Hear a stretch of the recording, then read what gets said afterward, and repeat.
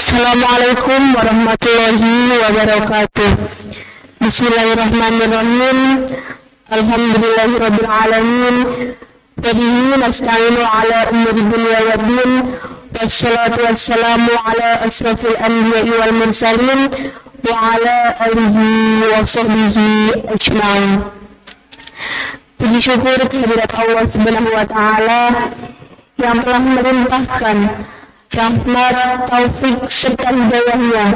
Sehingga pada kesempatan hari ini kita masih diberikan kesehatan. Fid dunya fid dini wal akhirah.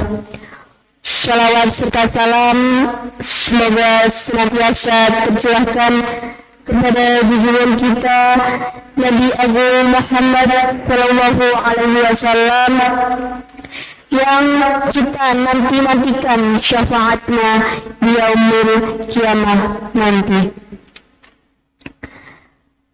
Para pemirsa yang dirahmati Allah, pada kesempatan kali ini saya akan menyampaikan fadilah keutamaan sholat tarawih.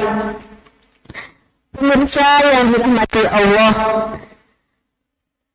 pada malam pertama bulan suci Ramadan, fadilah sholat tarawih atau keutamaan sholat tarawih pada malam bulan Ramadan, yaitu keluarlah dosa orang mukmin yang melakukan sholat tarawih sebagaimana ibunya melahirkan dia di dunia.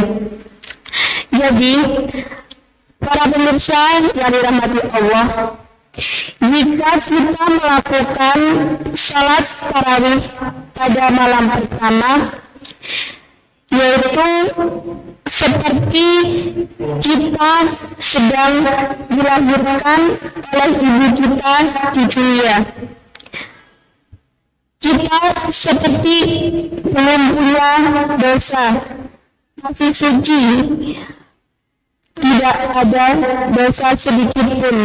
Seperti halnya ibu melahirkan kita di dunia, dan kita masih menjadi seorang anak atau masih menjadi seorang bayi yang baru dilahirkan dari kandungan seorang ibu. Sekian yang dapat saya sampaikan.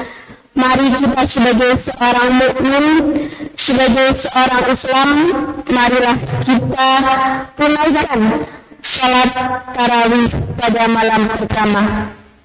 Allahumma mu'afiq ila aqwamit Wassalamualaikum warahmatullahi wabarakatuh.